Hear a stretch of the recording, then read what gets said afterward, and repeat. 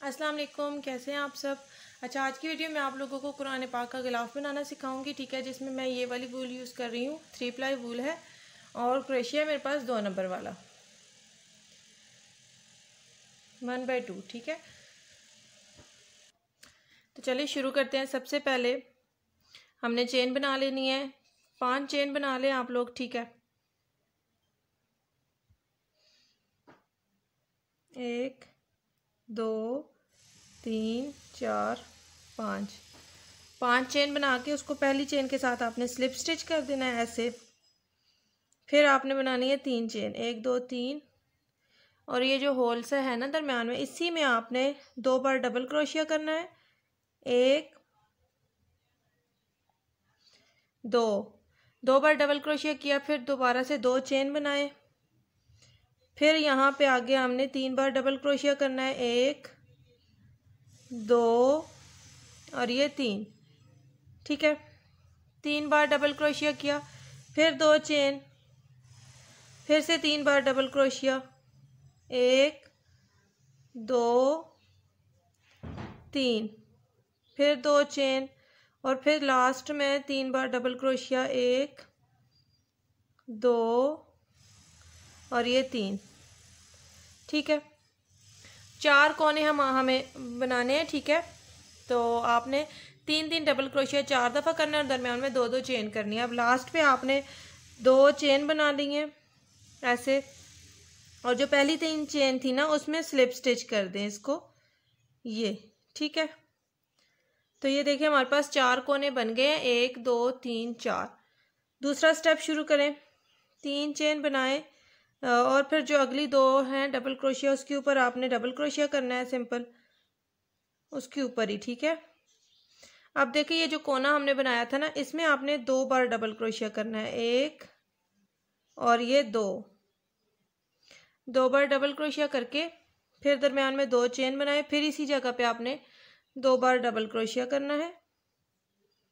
ये देखें ऐसे. दो बार डबल क्रोशिया, फिर आगे ये जो तीन डबल क्रोशिया हमने किए थे, इनके ऊपर तीन डबल क्रोशिया होंगे, ठीक है? हर चेन में मतलब एक एक डबल क्रोशिया, एक, दो, तीन। तीन डबल क्रोशिया, फिर आगे ये कोना आ गया कोने में, फिर आपने सेम वही तरीका अपनाना है, ठीक है? दो डबल क्रोशिया करना है, दो चेन, और फिर से दो डबल क्रोशिया। ये कोना बन गया, आगे फिर सेम यही तरीका होगा, ठीक है? इनमें आपने डबल क्रोशिया करना है, फिर कोने में दो डबल क्रोशिया दो चेन दो डबल क्रोशिया फिर एक एक डबल क्रोशिया फिर ये लास्ट पे मैं आपको दिखाती हूँ। अब ये देखिए, ये लास्ट वाला जो है ना कोना, इसमें भी आपने दो डबल क्रोशिया किए। एक, दो, फिर दो चेन बना लें और फिर से दो डबल क्रोशिया कर लें, ठीक है? इस तरीके से, और फिर आपने ये जो हमारे पास तीन चेन थी, तीसरी चेन के साथ आपने इसको स्लिप स्टिच कर देना है। दूसरा स्टेप भी हमारा कंप्लीट हो गया। तीसरा भी सेम इसी तरीके से होगा, ठीक है? जस्ट आपने तीन चेन बनानी है, फिर आगे हर चेन में एक एक डबल क्रोशिया करना है, जितनी भी चेन है हमारे पास, ये आगे तक, ठीक है? एक एक डबल क्रोशिया और फिर ये जो कोना आ जाएगा, यहाँ पे आपने सेम वही तरीका, दो डबल क्रोशिया दो चेन और फिर से दो डबल क्रोशिया कर लेने हैं, ठीक है? ये देखें पहला कोना बन गया, आगे फिर आपने हर चेन में एक एक डबल क्रोशिया फिर कोना बना लेना है, फिर एक एक डबल क्रोशिया फिर कोना। और यहाँ पे देखें, दो दो हमारे पास बढ़ रहे हैं दोनों साइडों से, ठीक है? पहले हमारे पास तीन थे, फिर ऊपर सात हो गए। एक, दो, तीन, चार, पाँच, छः, सात, ठीक है? फिर यहाँ पे हमारे पास कितने हो जाएँगे? एक, दो, तीन, चार, पाँच, छः, सात, आठ, नौ, ठीक है? तो दो दो दोनों साइडों से बढ़ेंगे। अब आपने ये इसी तरीके से आगे कंप्लीट करते जाना है, ठीक है? जितना आपको कुरान पाक का साइज़ चाहिए, आपने उतना कर लेना है। इसको सेम यही तरीका है। हर स्टेप आपने इसी तरीके से करना है। कुछ भी डिफरेंट नहीं है इसमें।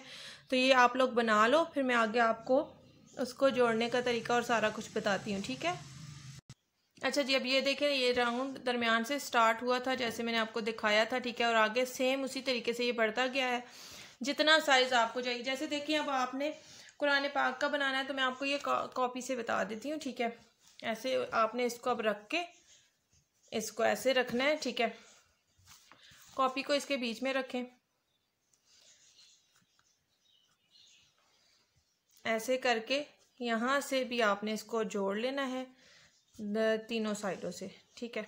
ये देखें, इस तरीके से ये जुड़ेगा तो ये वाला हमारा यहाँ से तीनों साइडों से जुड़ जाएगा और ऊपर से ये ऐसे आ जाएगा। तो ये देखें, हमारा ये कंप्लीट हो जाएगा, ठीक है? जस्ट आपने इन दोनों साइडों को जोड़ना है और इसको जोड़ लेना है, उसके बाद यहाँ पे आपने एक बटन लगा देना है। इधर, ठीक है? एक बटन इधर लगेगा, एक बटन इधर लगेगा और जस्ट आपने इसको जोड़ लेना है। सिंपल सा है, बहुत ही आसान है, ठीक है? आप लोग बहुत जल्दी बना लोगे इसको। यहाँ से अब मैं आपको जोड़ना बताती हूँ, इस साइड से भी और इस साइड से भी, ठीक है? तो ये वाला हम लोग जोड़ लेते हैं। इसको उल्टा करके जोड़ लेना है। पहले इन दोनों साइडों को जोड़ लें। यहाँ से यहाँ तक, ठीक है? ये वाली दोनों साइडें जोड़ के फिर दूसरा साइड आपने जोड़ लेना है। देखिए, अब आपने स्टार्ट करना है यहाँ से। ये तो दरमियान वाली चेन है ना, इधर से। ये वाली चेन और ये वाली चेन ठीक है? यहाँ से आपने इसको ऐसे जोड़ लेना है, धागे से आप क्रेशिया से भी कर सकते हो और इस तरीके से भी जोड़ सकते हो, जैसे आपका दिल करे। आप वैसे जोड़ लें। फिर आगे आपने ये हर चेन से गुजारते जाना है। आराम से ये जुड़ता जाएगा, ठीक है? ये देखें, इस तरीके से। इस तरीके से आपने इसको सिंपल ये ऐसे करके दोनों साइडों से जोड़ लें, ठीक है? यहाँ तक आप इसको जोड़ लें, फिर दूसरा साइड भी मैं आपको जोड़ के दिखा देती हूँ। यहाँ से देखें, देख, दोनों साइडों से जुड़ गया है, ठीक है? अब आपने इसको सीधा कर लेना है। सीधे साइड से भी देख लें आप लोग, कैसा बना है। बहुत ही आसान, बहुत ही सिंपल है और बहुत जल्दी बनने वाला है ये। तो ज़रूर ट्राई कीजिएगा आप लोग, ये देखें। दोनों साइडों से जुड़ गया, ठीक है? अब आप इसमें कुरान पाक आराम से डाल सकते हो। मैं आपको ये बुक डाल के दिखा देती हूँ, ठीक है? बाकी आप कुरान पाक या बुक का कवर बनाना चाहें, अब देखें इस तरीके से आपने इसको बंद करना है, ठीक है? और यहाँ पे आपने बटन लगा देने हैं फ्लावर्स आप अपनी मर्ज़ी से लगा सकते हो। मैं आप, मैंने ये वाले फ्लावर्स बनाए हैं, ठीक है? इसकी वीडियो मैं इंशाल्लाह आप लोगों को इस डिस्क्रिप्शन में दे दूँगी लिंक इस वीडियो का। तो आप लोगों ने ज़रूर देखना है इस वीडियो को। वीडियो कैसी लगी ये भी ज़रूर बताया करें। ये वाले सिंपल फ्लावर हैं, ठीक है? ये वाले फ्लावर्स आपने बना लेने हैं और अपनी मर्ज़ी से आप जहाँ भी लगाना चाहें, ठीक है? वो आपकी मर्ज़ी है। तो इन फ्लावर्स की वीडियो भी इंशाल्लाह आपको लिंक मिल जाएगा। तो ज़रूर ज़रूर ट्राई करना है ये वाला और ये वाला भी बना के देखना है। बहुत ही आसान है, ठीक है? वीडियो कैसी लगी ज़रूर बताया करें। चैनल सब्सक्राइब नहीं किया तो प्लीज़ सब्सक्राइब कर दें। थैंक यू सो मच अल्लाह हाफिज़।